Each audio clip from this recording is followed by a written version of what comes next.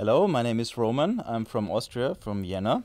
I'd like to talk about a project uh, we're working on. Uh, the goal of the project is to make available human potential all over the world. And therefore, we designed a method which uh, has two elements. Uh, element number one is uh, that we have a workshop where people uh, have the ability to find out their potential. And in the second step, we have a system which works with artificial intelligence. And uh, the goal of this system is to connect all these potentials uh, so that people can share those potentials and uh, we can spread them out. My name is Ulrike, I'm co founder. So, what does this all mean?